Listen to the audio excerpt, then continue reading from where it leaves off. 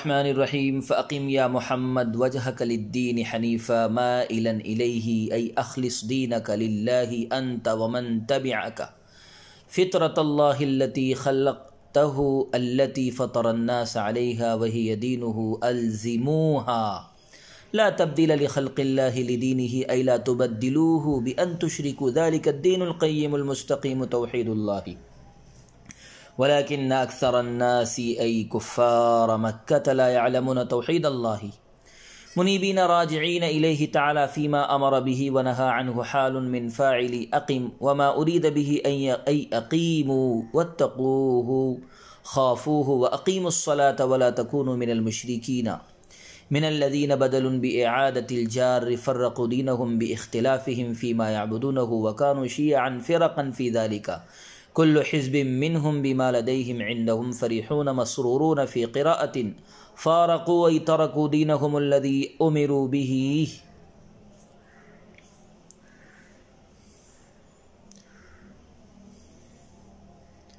ए मोहम्मद सल्लल्लाहु अलैहि वसल्लम तो आप यकसू होकर अपना रुख उस दीन हक की तरफ़ रखे, यानी अपने दीन को अल्लाह के लिए आप और आपकी इतबा करने वाले खालिस रखें। खुदादाद काबिलियत को, जिस पर लोगों को पैदा फरमाया है, और वो उसका दीन है, लाजिम पकड़ो। अल्लाह ताला के दीन को बदलना नहीं चाहिए, यानी शिरक करके दीन फितरत को तब्दील मत करो, यही अल्लाह की तोहद का कायल होना ही दीन मुस्तकीम है, लेकिन अक्सर लोग, यानी कुफ़ार मक्का, अल्लाह की तोहद को नहीं जानते। आप माँ अपने असहाब के दीन की जानब रुख रखिए। अल्लाह ताला की तरफ़ रुजू करते हुए उन चीज़ों में जिनका हुक्म किया गया है और जिनसे मना किया गया है, मुनीबीना अकीम से और अकीम से जो मुराद है, यानी अकीमों से हाल है। उससे डरते रहो, नमाज़ की पाबंदी रखो और मुशरकों में से ना हो जाओ जिन्होंने अपने दीन के, अपने मबूदों के बारे में इख्तलाफ करके टुकड़े टुकड़े कर लिए। मिनल्लदीना इयाद जार के साथ अलमुशरकिन से बदल है और दीन के बारे में गुरोह दर गुरोह हो गए। उनमें का हर गुरोह उस दीन पर जो उसके पास है, खुश है, मगन है। और एक किरात में फ़ारकू है, यानी उन लोगों ने अपने उस दीन को तर्क कर दिया जिस दीन का उनको हुक्म दिया गया था। अज़ीज़ तलब किराम फ़कीम वजह गलिद्दीन हनीफ़ा फ़ितरत अल्लाती फ़तरन्नास अलैहा इस आयत करीमा में रसूलुल्लाह सल्लल्लाहु अलैहि वसल्लम को मुखातब फरमा कर सारी इंसानियत को दीन फितरत पर कायम रहने की हिदायत दी गई है। बस जब ये साबित हो गया कि दीन इस्लाम हक है और ऐन अक्ल और फितरत सलीमा के मुताबिक है। तो ए तालिब हिदायत, सब अदियान बातिला से हट कर, कट कर अकीम वजह का अपना चेहरा और अपना रुख सीधा दीन हक की तरफ़ कर दे और हर दीन बातिल से मुँह फेर कर और मुँह मोड़ कर दीन इस्लाम की तरफ़ झुक जा। जो दीन तोहीद है और दीन फितरत है सबको छोड़कर फितरत इलाही को लाजिम पकड़ो और इस पर कायम हो जाओ, जिस पर अल्लाह ने बनी आदम को पैदा किया है। इससे पहले भी बताया जा चुका कि फितरत के माना खलकत के है। इस जगह फितरत से मुराद दीन इस्लाम और तोहीद है और हदीस में है कि हर बच्चा फितरत पर पैदा होता है, यानी इस्लाम पर पैदा होता है। इसलिए बाज़ ये कहते हैं कि जो बच्चा खा व मुसलमान हो या काफिर का हो, नाबालिगी की हालत में मर जाए तो वो मुसलमान मरा, उस पर आज़ाब न होगा। और महक्कीन ये कहते हैं कि फितरत से आन इस्लाम मुराद नहीं है। फितरत से आन इस्लाम मुराद नहीं है। बल्कि इस्तेदाद और सलाहियत और काबिलियत मुराद है, जो खुदादाद होती है। और हदीस का मतलब यह है कि हर बच्चा फितरी और तबी तौर पर इस्लाम के तरीक़े पर पैदा होता है और उसकी फितरत में इस्लाम कबूल करने का मादा रखा जाता है कि अगर उसको माने पेश ना आए तो वह बिलाशुबा इस्लाम ही को कबूल करे। इस्लाम ही को कबूल करे। लेकिन माँ बाप उसको यहूदी या नसरानी या मजूसी बनाते हैं। यानी जिस दीन पर उसकी, उसके माँ बाप होते हैं, उसी पर उस मौलूद को कर लेते हैं। लेकिन याद रखिए, इससे उसकी असल इस्तेदाद और सलाहियत ज़ाइल नहीं होती, बल्कि वो हमेशा उसकी तबीयत में कायम रहती है। लेकिन आवारिज और मवान की वजह से वो मस्तूर हो जाती है, मख्फी हो जाती है। मगलूब हो जाती है। और जब वो माने और आवारिस दूर हो जाता है तो वह इस्तेदाद फिर ज़ाहिर हो जाती है। जैसा कि आइंदा आयत, यानी ला तब्दील अली खल्क़िल्ला में इसी की तरफ़ इशारा है। जिसका लफ्ज़ी तर्जमा यह है, अल्लाह की बनाई हुई फितरत और पैदाइश में कोई तब्दीली नहीं। ला तब्दील अली खल्क़िल्ला इस आयत करीमा की तफसीर में के दो कौल हैं। एक कौल तो यह है कि ला तब्दील अली खल्क़िल्ला जुमला ख़बरिया है कि इंसान की असल फितरत और असल तबीयत में कबूल हक़ की सलाहियत और इस्तेदाद रखी गई है। किसी में यह कुदरत नहीं कि अल्लाह की फितरत और खलकत में तगैर तबद्दुल कर सके। यहूदी और नसरानी हो जाने के बाद भी कबूल हक़ की इस्तेदाद और सलाहियत बाकी रहती है।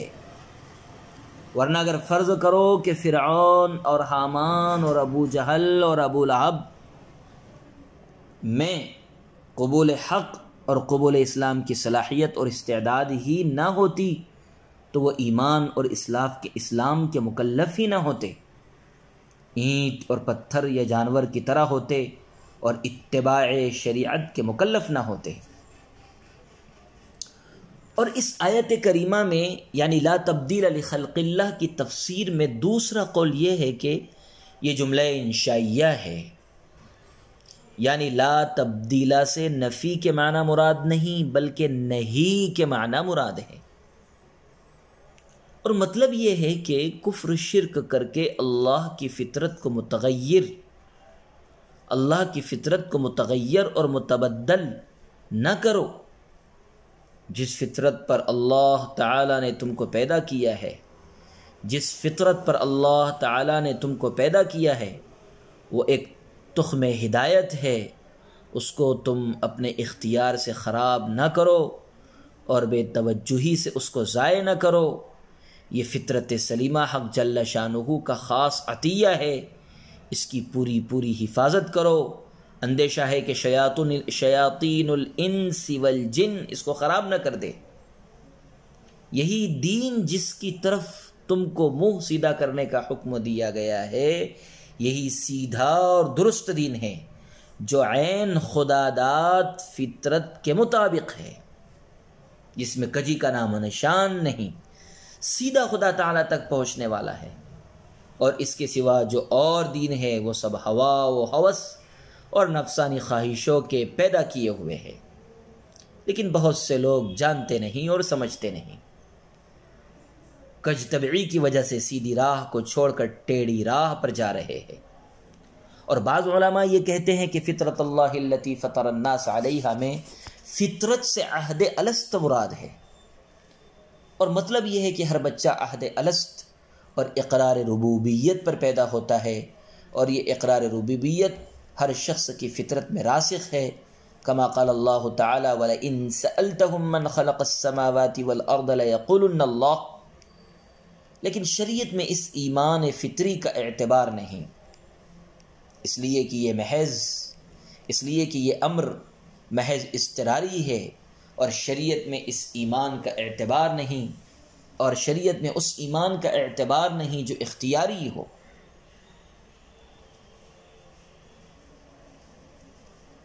और शरीयत में उस ईमान का एतबार है जो इख्तियारी हो। शरीयत में उस ईमान का एतबार है जो इख्तियारी हो, यानी अपने इरादे और इख्तियार से हक़ को कबूल करे और अहकाम खुदाबंदी की तस्दीक करे। और इस तहकीक से पहले कौल वालों का भी जवाब हो गया कि जो ये कहते हैं कि फ़ितरत से ऐन इस्लाम मुराद है, इसलिए कि वो ईमान फितरी है जिसमें शूर और इख्तियार को कोई दखल नहीं और नजात उखरवी का दार मदार ईमान इख्तियारी पर है, ईमान इजतरारी पर नहीं है। ला तब्दील खल्क़िल्ला असल पैदाइश के अतबार से कोई फ़र्क और तगैर नहीं। हर इंसान की फितरत कबूल हक़ के लिए मुस्तैद बनाई हैं। या आयत करीमा का मतलब ये है कि अल्लाह ताला ने जिस फितरत में पैदा किया, तुम अपने इख्तियार से बदल कर ख़राब न करो। हमने तुम में बीज, तुख में हिदायत डाल दिया है। इसे बेतवजुही या बेतमीज़ी से ज़ाय मत करो। किराम ने ला तब्दील अली खल्क़िल्ला के तहत दाढ़ी मुडाना, कटाना नामशरू खिजाब करना मर्दों को औरतों की हैत और औरतों को मर्दों की हैत बनाना, नाक कान छेदना, क्रीम पाउडर लगाना, भूत बनना वगैरह सब इसी में दाखिल किए हैं। अलबत् शरीयत ने जिस तगैर की इजाज़त दी है, जैसे ज़ेर नाफ, ज़ेर बगल बाल साफ़ करना, मूछे कम करना, ख़तना करना अकीका करना औरतों को जेब व जीनत वगैरह करना वो इससे मुस्तना है। हुक्म शारे की वजह से एक दूसरी आयत, ला तब्दील अली कलीमातिल्ला का मफहम भी यही है। कलीमत, कलीमातुल्लाह से मुराद कलीमात तकवीनी और खलकी है या कलीमात तशरीी और अहकाम शर्ዒ हो तो उसूल कुल्लियात मुराद होगे जो अटूट है। लिहाजा ये आयत नस्ख अहकाम के ख़िलाफ़ नहीं है। मुनीबीन इलैहि वत्तक़ूहु वक़ीमुस्सलाता आयत करीमा में इस बात का हुक्म है कि असल दीन थामे रहो और दीन फितरत के उसूल मज़बूत पकड़े रहो। मसलन खुदा का डर, नमाज़ की इकामत हर किस्म के अदना तक शिरक से मुकम्मल बेजारी और मशरकिन की तरह दीन व में फूट न डालना, जिन्होंने ग्रोह बंदी और पार्टी बाजी करके मुख्तलिफ़ फ़िरक़े बना लिए। हर एक का अकीदा अलग मज़हब व मशरब जुदा, जिस किसी ने उज़्रकारी या हवा परस्ती से कोई अकीदा कायम कर दिया या कोई तरीक़ा ईजाद कर लिया, एक जमात उसी के पीछे हो गई।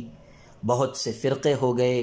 फिर हर फ़िरक़ा अपने ठहराए हुए असूल कवायद पर खा वो कितने ही महमल क्यों न हों, ऐसा फ़रेफ्ता और मफतून है कि अपनी गलती का इम्कान भी उसके तसवुर में नहीं आता। अलबत् अहल हक़ के मुख्तलिफ़ तबक़े इसमें दाखिल नहीं हैं, क्योंकि वह नफ्सियात का शिकार नहीं हैं, बल्कि सब जोयाए हक़ और तालिब मनशाए खुदाबंदी है। हाँ फ़रहत का मफहूम आम लिया जाए कि सच्ची खुशी हो या झूठी तो फिर अहल हक़ भी कुल हिजबिम बिमा लदहिम फरीहून में दाखिल हो जाएँगे।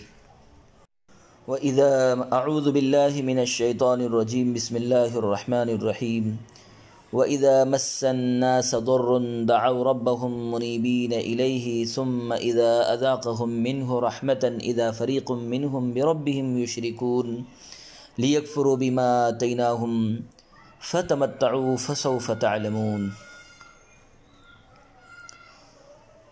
व इदा मस्सन्नास ऐ कुफ़ार मक्कता ज़ुर्र शिद्दत दअव रब्बहुम मुनीबीन राजिईन इलैहि दून गैरिही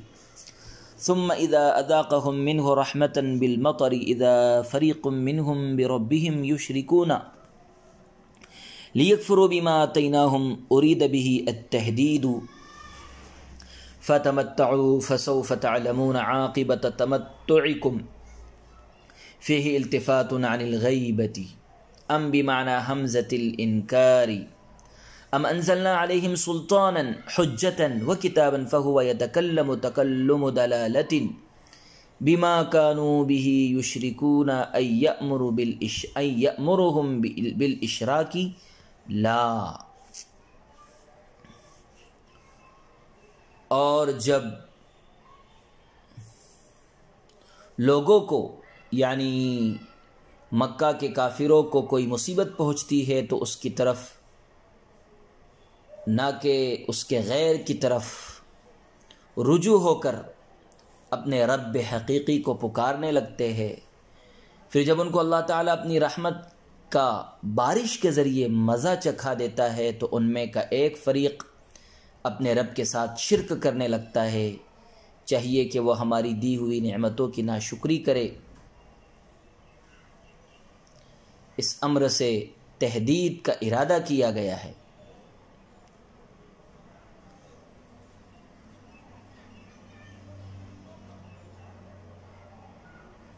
सो चंदिन और मज़े उड़ा लो। तुम्हारे मज़े उड़ाने का अंजाम तुमको जल्द ही मालूम हो जाएगा। इसमें गैबत से ख़िताब की जानब इल्तफ़ात है कि हमने उनके ऊपर कोई हजत और किताब नाजिल की है कि वो दलालता उनसे शरीक करने के लिए कहती है, यानी वो किताब दलालत हाल से उनको शिरक करने को कहती है? नहीं। व इदा अज़क़न्नासा रहमतन कुफ़ार मक्कता वग़ैरहम रहमतन नमतन फ़रहू बिहा फ़रह बत्रिन व इन तुसीबहम सय्यतन शिद्दतन बिमा क़द्दमत ऐदीहिम इदा हम यक़नतून ययअसून मिन रहमती व मिन शअनिल मुअमिनी अन यशकुर इंद निअमती व यरजू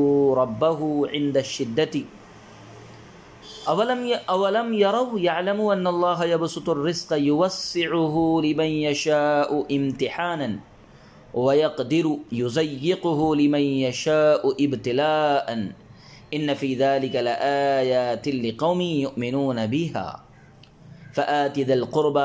अल क़राबति हक़्क़हु मिनल बिर्रि वस्सिलति वल मिस्कीन व उम्मतुलनबी सल्लल्लाहु अलैहि वसल्लम तबउन लहु फ़ी ज़ालिका ज़ालिका खैरुल्लिल्लज़ीन युरीदून वजहल्लाहि ऐ सवाबहु बिमा यअमलून व उलाइका हुमुल मुफ़्लिहून अल फ़ाइज़ून और जब हम लोगों, यानी मक्का के कुफ़ार वग़ैरह को रहमत, यानी नेमत का मज़ा चका देते हैं तो वो इस नेमत से खुश होते हैं, इतराने लगते हैं और अगर उनके अमाल के बदले उनको कोई मुसीबत पहुँच जाती है तो वो एकदम रहमत से ना उम्मीद हो जाते हैं। और मोमिन की शान ये है कि नेमत के वक्त शुक्र अदा करे और मुसीबत के वक्त अपने रब से उम्मीद रखे कि इन लोगों को ये मालूम नहीं कि अल्लाह ताला जिसको चाहता है, इम्तिहानन उसके रिस्क में वसअत करता है और जिसके रिस्क में चाहता है इब्तला तंगी करता है इनमें भी उन लोगों के लिए निशानियाँ हैं जो इन निशानियों पर ईमान रखते हैं। बस कराबतदार को उसका हक़, जो कि हसन सलूक और सिला रहमी है, दीजिए और मस्किन और मुसाफिर को सदका दीजिए। और नबी सल्लल्लाहु अलैहि वसल्लम की उम्मत भी इस हुक्म में नबी के ताबे है। ये उन लोगों के लिए बेहतर है जो अल्लाह की रज़ा के तालिब हैं। यानी इससे अपने अमाल के सवाब के तालिब है। यानी उससे अपने अमाल के सवाब के तालिब है। ऐसे लोग ही कामयाब होने वाले हैं। व इज़ा मसन्ना सदुर्रन दाव रब्बहुम मुनीबीन इलैहि। अब इस आयत करीमा में ये बतलाते हैं कि लोगों ने दुनिया में नए नए मज़हब निकाल लिए हैं, लेकिन दीन इस्लाम और दीन तोहद, यही दीन फितरत। यही दीन फितरत सलीमा के मुताबिक है, जिस पर अल्लाह ताला ने लोगों को पैदा किया है। और दलील इसकी के तोहद, इस्लाम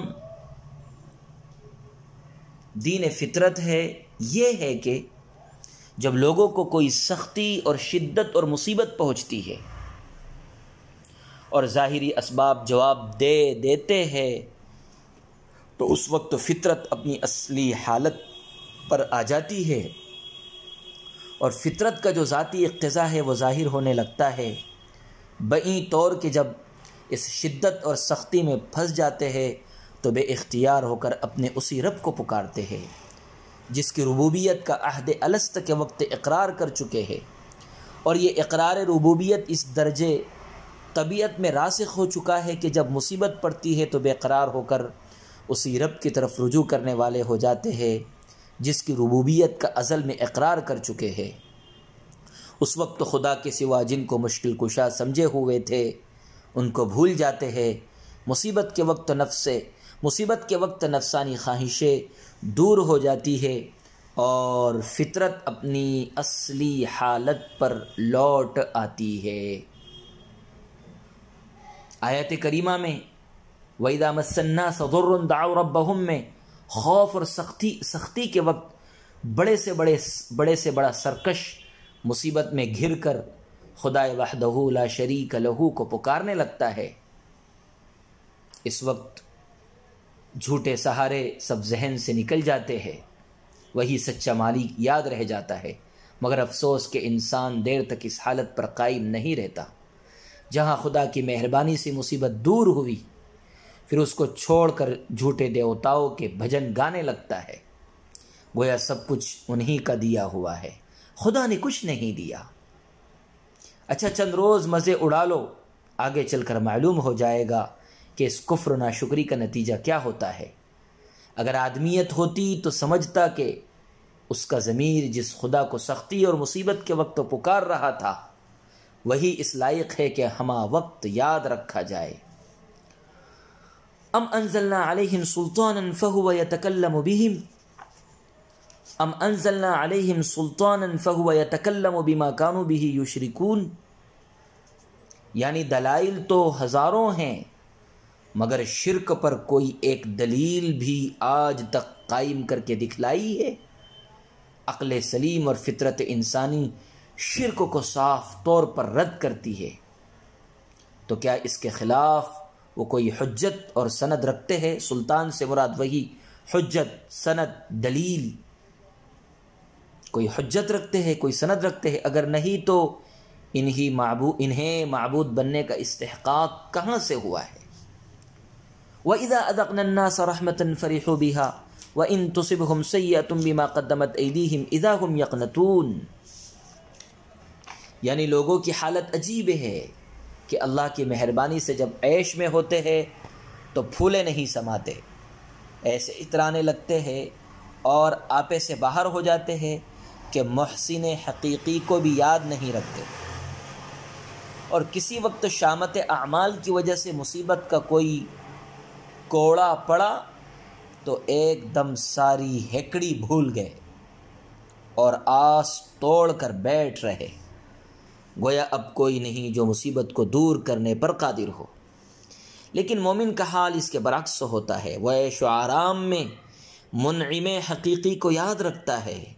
उसके फजल व रहमत पर खुश होकर ज़ुबान दिल से शुक्रगुजार होता है और मुसीबत में फंस जाए सब्र तहमुल के साथ अल्लाह से मदद माँगता है और उम्मीदवार रहता है कि कितनी ही मुसीबत हो और ज़ाहरी इसबाब कितने ही मुखालिफ हो, उसके फजल से सब बादल छट जाएँगे। ला तकन तो मिन रहमतिल्ला पहली आयत में फरमाया था कि लोग सख्ती के वक्त खालिस खुदा को पुकारने लगते हैं और यहाँ फरमा रहे हैं कि बुराई पहुँचती है तो आस तोड़ कर बैठ रहते हैं। बज़ाहिर दोनों में इख्तलाफ मालूम होता है।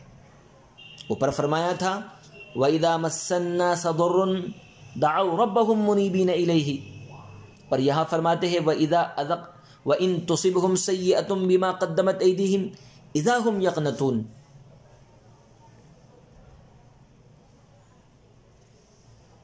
पहली आयत में फरमाया था कि लोग सख्ती के वक्त खालिस खुदा को पुकारने लगते हैं।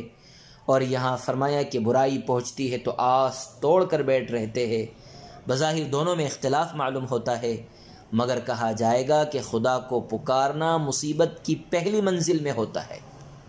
खुदा को पुकारना मुसीबत और तकलीफ़, परेशानी की पहली मंजिल में होता है। फिर जब मुसीबत सख्त हो जाती है, मुसीबत में पूरी तरह से मुकम्मल घिर जाते हैं तो घबरा कर मायूस हो जाता है। या बाज़ लोगों की वह हालत होती है और बाज़ लोगों की यह हालत होती है। यानी बाज़ लोग वो होते हैं जो दाऊ रब मुनी भी नहीं ली और बाज़ लोग वो होते हैं कि व इदा अदकन्नास रहमतन, व इदा अदकन्नास व इन तुसिबहुम सय्यतुन बिमा कद्दमत ऐदीहिम इदा हम यकनतून। बाज़ लोगों की वो हालत होती है और बाज़ लोगों की इदा हम यकनतुन वाली हालत होती है। इसी तरह फ़रहत फ़रहत में भी फ़र्क होता है। मोमिन की फ़रहत महमूद मतलूब है। कुल बिफ़ल व बरहमती फ़बीदाली का फ़लफ़रहू इस आयत करीमा में इस मोमिन की फ़रहत जो मतलूब महमूद है, इसकी तलब है। और ला तफ़रह इन युहिब्बुल में ना फरमानों की इतराहट है, जिससे मना किया गया है। अवलम यरौ अन्नल्लाह यबसुतुर्रिज़्क़ लिमन यशाउ व यक़दिर इन युमिनून। क्या इन काफिरों ने देखा नहीं और नहीं जाना कि अल्लाह ही जिसे चाहता है उसके रिस्क में से वसअत देता है? और जिस पर चाहता है तंगी करता है, बेशक इसमें ईमान वालों के लिए हमारी कुदरत की निशानियाँ हैं। इससे पहली आयत करीमा व इन तुसिबहम सैयतुम बिमा कद्दमत ऐदीहिम इदाहुम यकनतून कि जब कुफ़ार व मशरकिन को कोई तकलीफ़ पहुँचती है तो बस वह फ़ौर मायूस हो जाते हैं। बरखिलाफ़ अहल ईमान के, कि वह फ़राखी में न इतराते हैं और न तंगी में ना उम्मीद होते हैं। वो जानते हैं कि रिज़्क़ की वसअत और तंगी सब अल्लाह की तकदीर और उसकी मशीयत और हमत से है।